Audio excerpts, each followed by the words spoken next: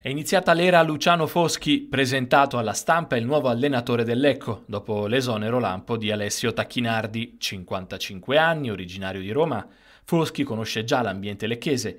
Da giocatore ha vestito per due stagioni la maglia blu-celeste a metà degli anni 90. L'entusiasmo che ho è quello che avevo da giocatore. Io ho sempre, ma voi lo sapete come la gente lo sa, ho sempre amato questa piazza perché comunque questa maglia me la sono sempre sentita addosso, anche quando sono andato via.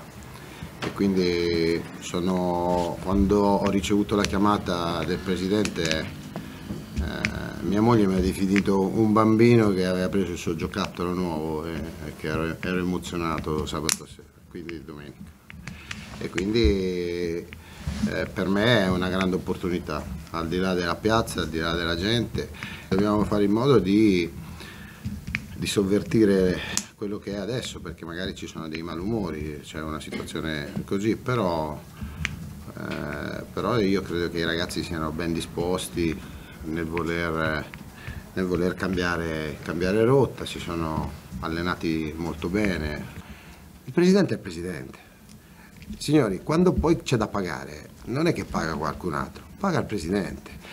Detto in parole povere, io sono romano di nascita, se io tirassi fuori i soldi per fare una cosa così, e io voglio dire quello che mi pare, e voglio fare quello che mi pare, e nessuno si deve permettere di dirmi cosa devo e, co e cosa devo, devo dire e cosa devo fare, sinceramente, ma è così in tutti i mondi. Mister Foschi preferisce non dare indicazioni sugli uomini e sul modulo che sceglierà per il suo esordio sulla panchina dell'Ecco sabato alle 17.30 contro il Mantova, ma due importanti indicazioni sì, più spazio agli under, come desiderato dalla società, e il ritorno di Zambataro in fascia e non più in mezzo al campo. Io non ho visto una squadra brutta in queste partite, ho visto una squadra che non faceva le cose. Guarda, io molto semplicemente questa settimana ho lavorato sulla testa dei giocatori, fisicamente li ho trovati ben allenati, eh, tatticamente avevano la loro idea, eh, comunque, però li ho trovati un po' bloccati. Io l'ho avuto Zambataro un anno e quindi secondo me Zambataro è un esterno, poi, come vi ho detto prima, eh, se non ho proprio nessuno e devo far giocare